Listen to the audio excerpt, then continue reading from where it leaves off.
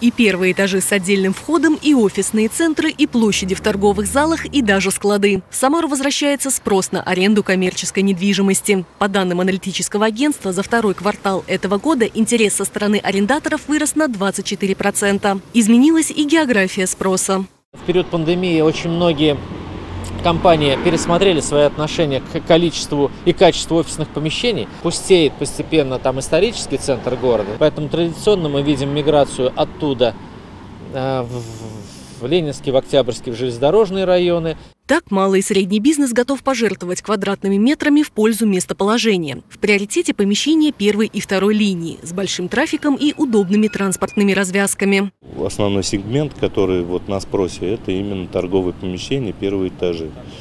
А, первые этажи и с отдельными входами, а, небольшой площади, там, а, ну, примерно, может быть, от 25 квадратных метров до 50. Это вот ну, пиковый спрос, тот, который э, потенциально вот нужен под любой вид деятельности. Бизнес покрупнее интересует помещение площадью уже от 50 до 150 квадратных метров. Зачастую там открываются новые представительства компаний, и ремонт они делают под себя.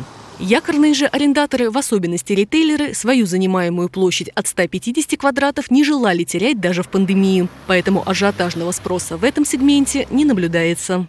По районам э, разница, разница есть. Если мы берем, будем брать старый город, ну, наверное, за квадратный метр будет ну, две с половиной тысячи. Если мы берем место, где мы сейчас находимся, Гагарина Победа, ну, 900, там, тысяча рублей за квадратный метр.